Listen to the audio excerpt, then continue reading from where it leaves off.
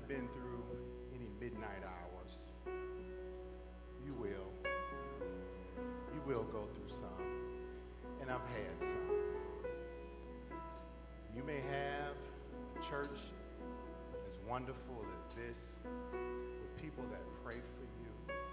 You may have a beautiful wife and family that looks out for you in your midnight hour. But there is one who will be right there with me the whole time, as nobody else can be. And I will say his name in this song.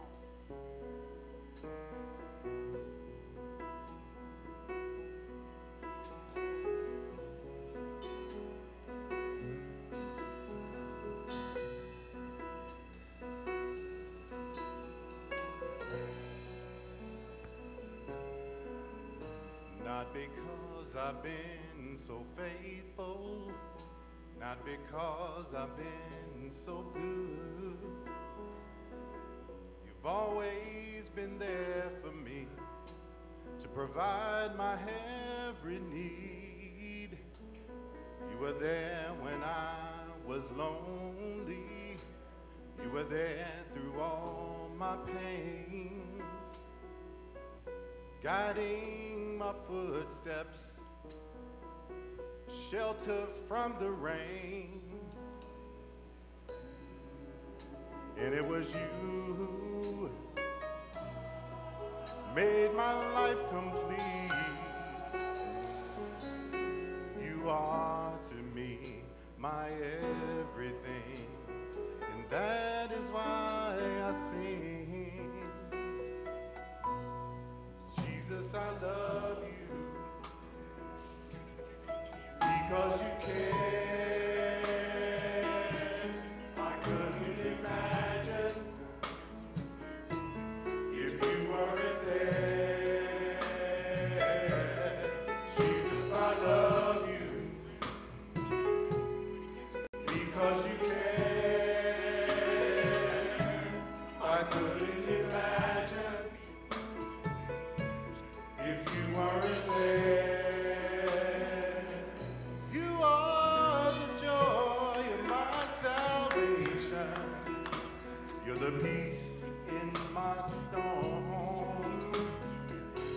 Loving arms protect me and shelter me from harm.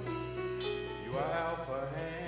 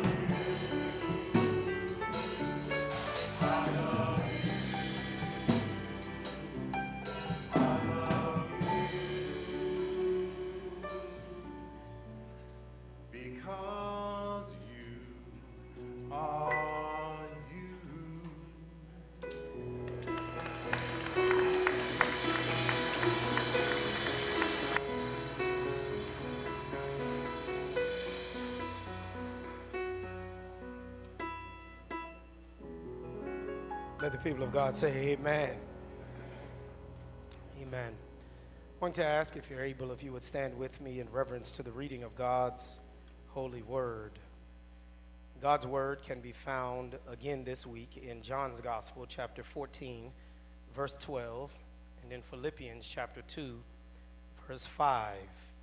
John's Gospel says, Very truly I tell you, whoever believes in me will do the works I have been doing and they will do even greater things than these because I am going to the Father. And then Philippians 2 5, in your relationships with one another, have the same mindset as Christ Jesus. Amen. You may be seated in God's house. And as we continue our series we started last week entitled Go Be Great, I'd like to tag this particular text and message with the title Invisible Greatness. Invisible Greatness. A man had bought a new gadget. It was unassembled, of course. And after reading and reading the instructions, he could not figure out how to put it together. Finally, he sought the help of an old handyman who was working in his backyard. The old fellow picked up the pieces, studied the pieces, and then began assembling the gadget. In a very short time, he had put the gadget together. The, the man said, Man, that's amazing. And you did it without even looking at the instructions. The old handyman looked at him and says, The fact is, I can't read. And when a fella can't read, he got to think with his mind. Last week, we discussed how if your thought life is going to be like Jesus, if you're going to focus on the good news of God's love, then you must trust in God's prophetic certainty. If you're going to be great and do even greater works, the Bible cannot just be simply some book with some good metaphysical commentary, some good things for you to quote, but the Bible's trumpeting of love, prayer, and faith must permeate who you are. According to Dr. King, love is still the most durable power that there is in the world. He suggested that this creative force, uh, as beautifully modeled in the life of Jesus, is the most powerful instrument available to men and women in our quest for peace, unity, and security. And this love thing, this idea of love as a weapon against hatred, evil, racism, problems, plights, low wages, underemployment, that ought to be in the church's wheelhouse. Love ought to be our area of expertise. The world ought to come to us for advice on love. But the question is do they? Does the world come to the church for advice on love? This ought to be who we are, what we do, how we live, but we've got to get it in our minds that we are the most powerful, positive force in the world when we let the mind of the master be the master of our minds. And when the Word of God, His love permeate who you are, it becomes contagious. And so, in a real sense, we need parents and single and married. We need par- folks parenting with changed minds. We need legislators legislating with changed minds, teachers teaching with changed minds, nurses nursing with changed minds. Because the changed mind knows, like the psalmist in the 16th Psalm, I have set the Lord always before me because he is at my right hand. I shall not be moved. And we need changed minds because it is so easy for us to imagine what we are not, to expect so much of others and so little of ourselves, to always be accusing somebody else and justifying ourselves and people that we like. Dr. James Sanders, an Old Testament scholar, pointed out in his book, God has a story too, that the Bible is a mirror in which you ought to see yourself. And if your mind is not changed, then you will read the Bible and you will always come away self satisfied, feeling self righteous. And I'm afraid you, you're misreading it if, if you're reading it and you become self satisfied. Well, how wonderful you are. In the trial and the death of Jesus, you and I are never Jesus. What sacrifice of life or in life have we made? No, no, no. When, when, when you read the book and your mind is changed, you realize that you are the high priest trying to protect your prizes and your position, your power, and your pleasure. You and I are often Judas deciding that Jesus has had enough time to prove himself to us, so we got to take this in our own hands. We are Peter, scared of the public's opinion about us. We are the crowd ready to follow who or what is popular in that day. The change mind knows that when you read the word, your pride is shattered and you realize that it's only God's mercy and God's grace that have kept you here as long as you've been here. Let this mind be in you that was also in Christ Jesus. There is an observable phenomenon that operates inside of all of us. This, this nameless thing in some of us is out in the open in everything that we say and we do. It shows up in how you walk and you talk. It shows up in how you hold up in adversity. It shows up in how you bear your burdens. And other folks, this thing does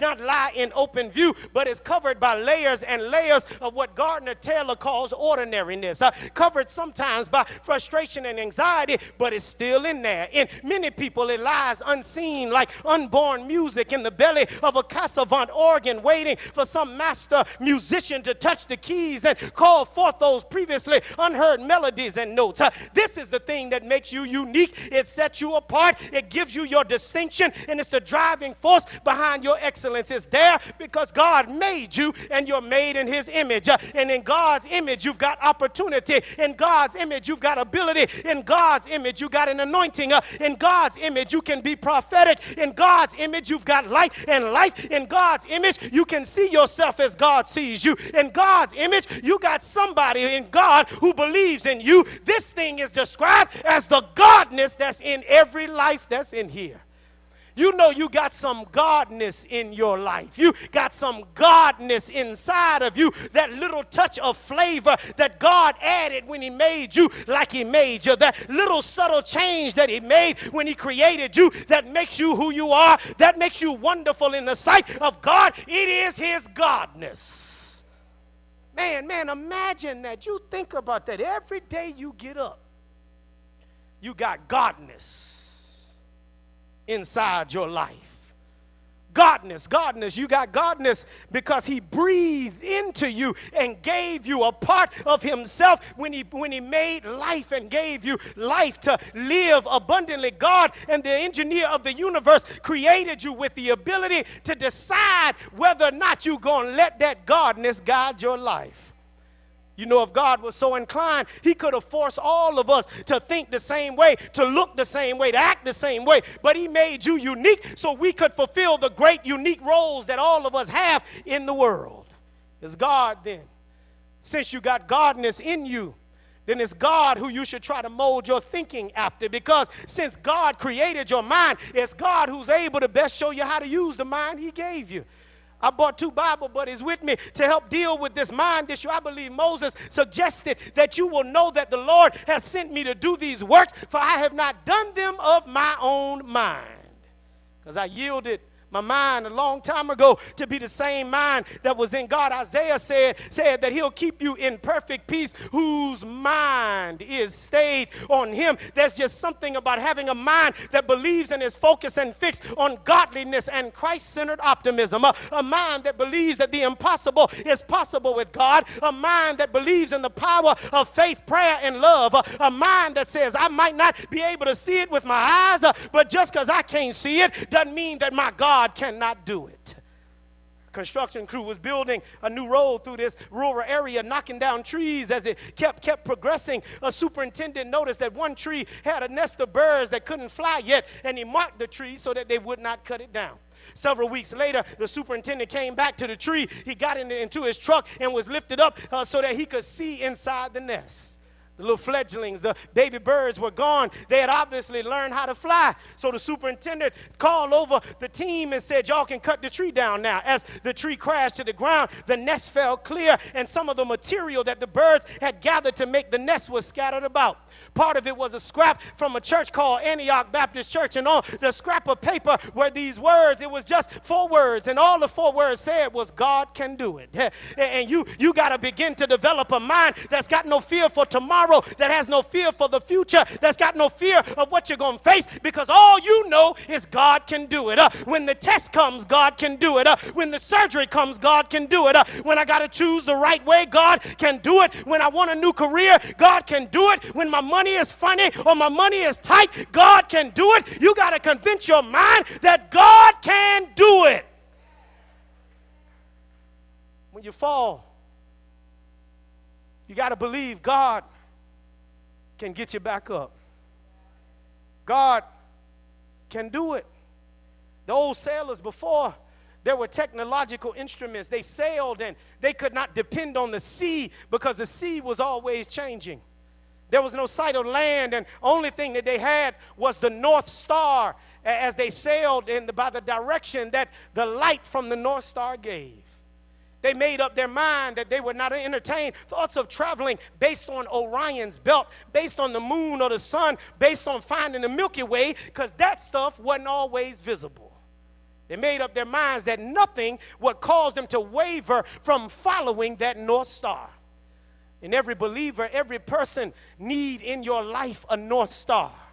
You need the unchanging presence that is the same in the darkness as it is in the light. It's the same yesterday, today, and forevermore. Your mind needs to attach itself to the idea that you will travel into some uncomfortable places. You will do something that you've never done. You will journey to places that you don't like and don't feel good to you because you believe that your North Star is going to guide you. Our North Star is Jesus, who is unchanging. And if you would challenge your mind to believe that the path of God is the the best path. Uh, his plan is the best plan. Uh, his way is the best way. That his end is the best end. Uh, that his move is the best move. Then you will activate the godness that's inside of you. But I hear you asking the same question. I had to ask the text how, how do I show forth this invisible greatness, this godness that God put inside of me first?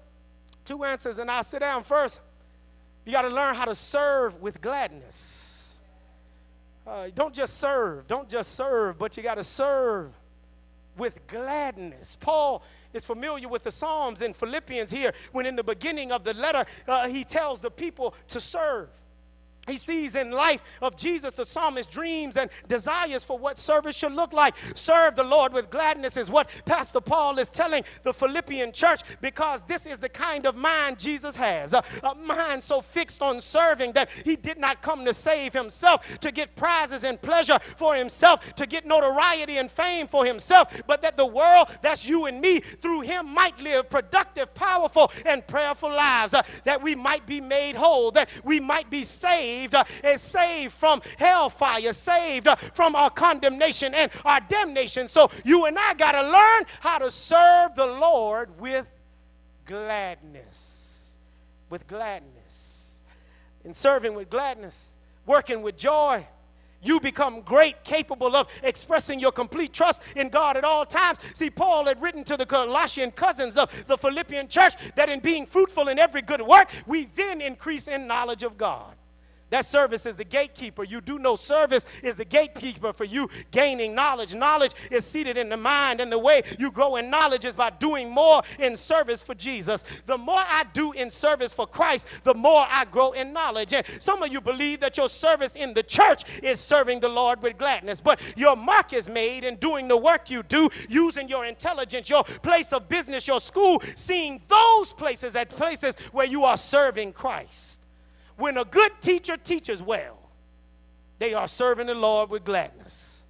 When an architect designs a beautiful space and they do it with integrity, when a driver drives you around with commitment and care, they are serving the Lord with gladness being example of good work ethic is serving with gladness and our worship would be so much more powerful if sunday was simply a gathering of servants who've been serving the lord all week long grandmama, the way you, you help treat your grandbabies, granddaddy, the way you treat your granddad babies is serving the Lord with gladness. Parents, the way you treat your children and raise your family is serving the Lord with gladness. There ought to be an outward expression of the presence of God in your life, and that outward expression should be your service.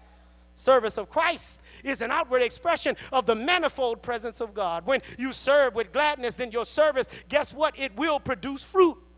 Don't tell me you're serving. You just gotta, you just gotta show me your life. I, I, the fruit is that you're serving with gladness in me. Mean folks sprout with pleasing thoughts and words when you start serving the Lord with gladness. If you serve with gladness, your sadness will break for joy. Uh, serve with gladness, and confusion gives way to peace. Uh, serve with gladness, and don't you ever refuse parenthetically to sing. Uh, see, gladness and singing go hand in hand. Uh, for I sing because I'm happy, uh, and I can be happy even if my happenings ain't happening like I want them to happen because I got joy. Uh, and then I sing because I'm free. Uh, so don't you ever let a song die in your heart. Serve with gladness, and you keep finding a song to sing. Uh, you can sing through tough times and trial. You can sing through marital issues. You can sing when your children in trouble. You can sing, and what will you sing in your soul? You can sing where He leads me. That's where I'm going to follow. You can sing, I'm so glad that trouble don't last always. Uh, you can sing, what a friend uh, we have in Jesus. Uh, when you serve with gladness, you will always keep a song in your heart. A song drives out negative thoughts. A song reminds you of how much God loves you. A song can keep your spirit renewed. A song can lift up your head. Serve the Lord with gladness. I, have learned. I've learned from Sister Valerie Harrison, uh, uh, who's a master horticulturist, that, that the quality of your fruits and vegetables in the garden is directly affected by the great quality of the soil. In order to produce great vegetation, it starts by having great soil. And you need to make sure that you are planting your life in some, some friend soil, some relationship soil, some ministry soil that's good so you can grow in, in your grace and in your knowledge of who God is. Uh, you don't need a dry, rotted, stale, stuffy religion, a gospel that only works inside this building. That's greenhouse faith. We don't need greenhouse faith. See, such a plant can survive and thrive as long as the temperature is kept moderate and constant. As long as everything is working in your favor in the greenhouse, the greenhouse, the greenhouse is constant. The temperature is the same. It, it cannot stand shifts in the temperature. It wilts under the pressure. As soon as pressure comes, you stop loving it. You stop forgiving. You stop being faithful. You got to get you some new soil. Get your life in some great soil so you can grow some soil that on the bag, that on the bag it reads, I've been crucified with Christ. Get you some soil where the bag says, It's no longer I who live, uh, but Jesus who lives in me. Some soil that says, Cast your cares on him because he cares for you. Some soil that says, For God so loved the world that he gave his only begotten Son. Get into some of that nutrient rich, dense, fibrous soil so you can grow in God. Serve the Lord with gladness. And in serving the Lord with gladness, it helps you find good soil. You're just planted uh, uh, uh, uh, you ought to always be growing because you're always serving. It's serving builds your strength, serving builds your character. And if you are today where you were last January, check your soil. The problem is you might just be planted on the surface, so you're easy to uproot. Uh, we need weed believers. Weeds are hard to get up. You you try to get up a weed, you just pull and pull. The weeds are deeply embedded in the soil. We need some weed believers who you just can't be uprooted just by any old thing. You got to do some work to make me lose my religion. Your soil, change the I to a you. Your soul is too shallow. You got to go down in the soil, go down in your relationship with God until you hit redemption and salvation and grace, until you find mercy and favor and love and peace. Go down, and when you hit those, your life will start to bear new fruit. Stop digging so shallow. I go to church. That's shallow. I, try to be good. Shallow. I try not to cuss folk out. That's shallow. I ain't a bad person. I'm really a good person, shallow. I, I know the pages of the Bible, but not the person of the Bible, shallow. But you got to dig in the soil of service until you hit forgiveness. Dig until your life is changed and your soul is upset. Dig until you walk in walk with God moment by moment and day by day. Dig until you really love your neighbor as yourself and you find yourself praying for those who spitefully use you. You got to dig, dig, dig way down in the soil of service. Serve the Lord with great gladness. But not only do you need to serve Lord with gladness, but secondly and finally, if you're going to unlock that godness, that invisible greatness in your life and in your soul, secondly, you got to learn to strive, strain, and stretch for greatness. Got to strive for greatness, not just average. Most of us are content being average. But I, the Bible doesn't say we are average conquerors through Jesus the Christ. It doesn't say I came that you might have life and have life more average. Averagely. I, I can do average things through Christ who, who gives me gives me strength. The Lord is my shepherd, I shall not want. He makes me lie down in green pastures. He leads me beside still waters. He restores my soul. Then I get to the part where he prepares an average table before me in the presence of my enemies. My cup is average. It doesn't run over, it's just right in the middle. Just enough drink for me and just a sip, get a swig on on what God is doing. That ain't what the Lord says. We got to strive for great. Dr. Luke records an occasion when Jesus tells his own mama, he says, Mary and his father Joseph, he says, I must be about my father's business. I was going to say business, but business. I got some educated people here. He was essentially telling his earthly parents, I'm striving for the greatness inside of me, and I've got this urgency to unwrap whatever gifts God has given to me and use them to glorify his name. See, greatness starts by planting seeds of greatness in your mind. Remember last week told you it's all in your head. If you want to be great, you got to have the mentality of a servant. Dr. King suggested that anybody can be great because anybody can serve. And I'm not only talking about serving through the labor of your hands or the work that you do, but you got to learn to serve the vision and the mission of Jesus the Christ. Greatness comes when you walk in the complete purpose of God. God is telling you that greatness might make you uncomfortable. Not always going to be comfortable at church, not always going to be comfortable in life. Greatness might mean leaving the familiar. Greatness might mean that you got to leave some people behind. Greatness might mean not knowing where God is taking you or leading you. But if you want to be great according to God, you must be willing to take a chance on God. It's a mockery of Jesus' church who came that we might have life fully and abundantly, not averagely, for you to hang out in some halfway house of the Spirit. For you to be comfortable chilling on average. That is a mockery of Jesus. And say, average work shall you do because I'm going to the Father. Average, average, average works. You can just do average works and be an average person and just get up every day and do what everybody else does. That's not what he said.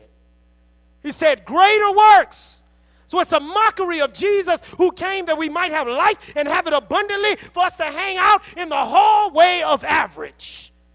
Yet there are believers, some here, some abroad, some everywhere, who have not grown in 5, 10, 20, 30, 40, 50, 60, 80, 100 years.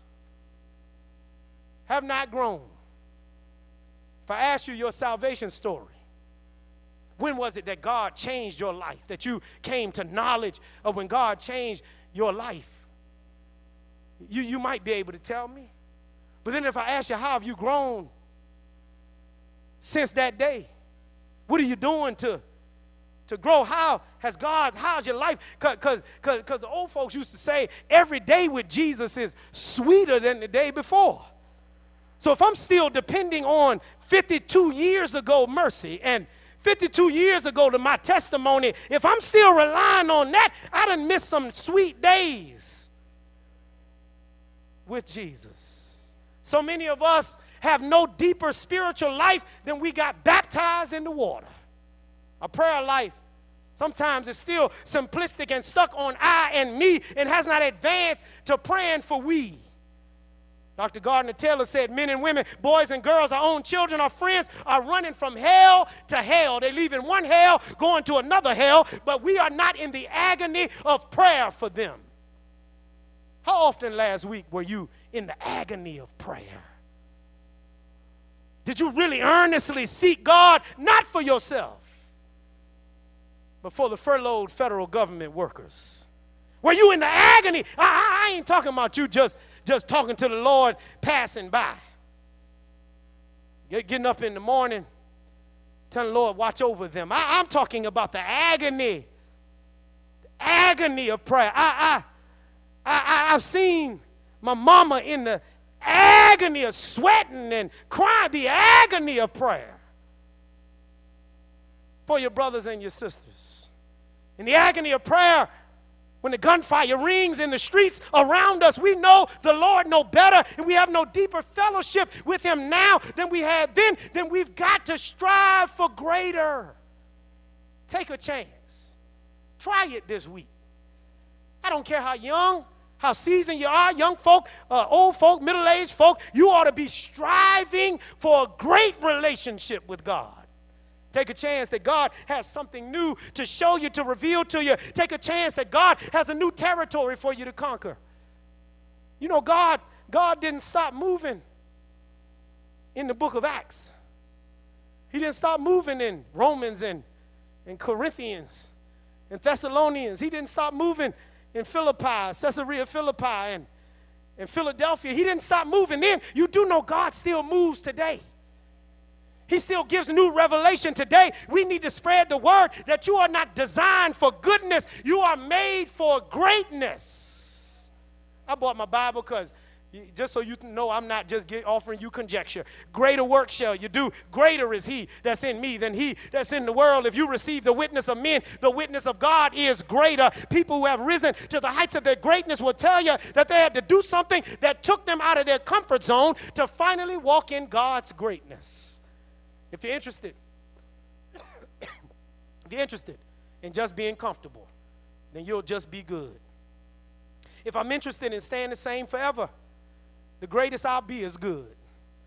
But, but the church of today, the 21st century church, needs people in here who have set your dial to great, and you will not settle for just being good, but you want to walk in the greatness that God promised you. If you like where you are, then stay good. That's all. That, that's cool for you. If you just want to be stuck on, on yourself and me and my, if you just want to do simple charity and not sustain commitment, we need great people who are not committed to only challenging and changing laws, but want to change hearts. That's greatness. That's greatness. In order for God to use you like He's never used you before, you got to do something that you've never done before. You're tired of just being good, tired of that pattern in our lives, tired of attracting the wrong kind of people to your life, tired of struggling to find the right place, tired of feeling stuck in neutral, then you got to start striving for God's greatness. If you want to be great, you got to align your will with the will of God. To be great, you got to seek first His kingdom, change your mind about God. You got to lift up your head. You got to spend some time alone with Jesus for yourself. Walk worthy of your calling. Walk as a child of the light. Walk with God. Let, let God lead your dance at every step of your journey. One, one time, some years ago, and I'm almost done, Leah, Leah and I were on the beach with our family and we rented one of those four person carriages that you had to pedal together for it to go somewhere. It was me, Leah, I think one of the babies, might have been Cana, she was little at the time, and Grandma, Grandma Black. Grandma Black is Leah's grandmama who's going on to be with the Lord. Grandma Black, Leah, me, and baby Cana were pedaling this four person uh, trolley, vehicle, bicycle, whatever you want to call it. And so Leah and I, strategically, we were young and vibrant at the time. And so we, I sat up up front and she sat in the back, and we said, well, we can, we can handle it without grandma and Cana pedaling. Le- Leah's, so we pedaling, we pedaling, and all we doing is veering off to the side and falling in the ditch at the beach and going over into the sand. Baby, what are you doing? Why are you not pedaling? You, are you? I'm pedaling as hard as I can. Leah says, and I'm pedaling as hard as I can. But we look back at Grandma Black. Grandma wasn't pedaling. Grandma was chilling, let the young folk do all the work. So we swerved and slowed and went over into the grass because guess what? We weren't working together. Help me, Holy Ghost. I'm going somewhere. What we discovered was the key wasn't just working together. It was synchronicity. You know what synchronicity is? We all needed to be pedaling the same way, at the same pace, at the same time. See, I was good riding a bike by myself. Yeah, brother. And Leah and I would tear up a tandem bicycle. If it's just me and her, oh, we can get it. We can get it together. But but the routine got thrown off because we were out of sync with our partner, grandmama. We needed grandmama to pedal at the same pace we were pedaling. And, guess what? If the lead is right pedaling, then all us got to be pedaling. Ah, with that right foot. And if, and if we decide we're going to lead with the left foot, then then all us got to lead with the left foot. We got to pedal with the left foot uh, because you need synchronicity in order to be great. And see, God is tired of you and I trying to take the lead and moving in the opposite direction that God is moving in. If you wonder why your life drifts off to the side and goes into a ditch, it's because you're not letting God lead you in synchronicity. If God is going left and you moving right, then you ought to sync with God. Uh, but if you want to be great, then you better learn how to move the way God is moving. Uh, if God moves left, uh, guess what you and I ought to do? We ought to slide to the left. Uh, if God slides to the right, uh, then you ought to slide to the right. If God crisscrosses, then guess what? You ought to crisscross just like the Lord. It doesn't matter where God does it. You got to do what God is doing. Strive for greatness. I'm done. In, in 1715, King Louis XIV of France died after reigning for 72 years. I'm done. After this, he called himself the Great and was the monarch who made famous the statement, I am the state. Sound like, sound like, uh, I don't even like calling his name. His court was the most magnificent in Europe, and his funeral was equally spectacular. King Louis the 14th, as his body lay in state in a golden casket. Orders were given that the cathedral should be dimly lit with only a special candle set above his coffin. So everything was dark except this one light above his coffin to dramatize how great he was. Everybody, all eyes on me. At the memorial, thousands waited in silence and in the dark. One candle, then, then the bishop, the preacher, got up, Bishop Massillon, got up and began to talk. And when he got up, the first thing he did was he blew out the candle. blew it out. And he said, Only God is great. For the Lord is great and greatly to be praised. You know why he's great? Because before the mountains were brought forth, God was there. Where were you when the blueprints to the earth got revealed? Uh, before stars marched into the sky, God was there. He was there when David was anointed to be king. Uh, he was there when Joseph got thrown into that pit. Uh, he was there when Joshua marched himself around Jericho's walls because he is the greatest. He was there when Ezekiel saw dry bones in the valley. He was there when Elijah was running from Jezebel. he was there when Peter preached on the day of Pentecost. and as a matter of fact, the Lord is here right right now. He was there when you were born those years ago. And guess what? On a Friday, over 2,000 years ago, He put His greatness on display. On that Friday, He became our door to the Father. He gladly gave up His life so you and I could be great. And He's great enough to tell the wind to be quiet.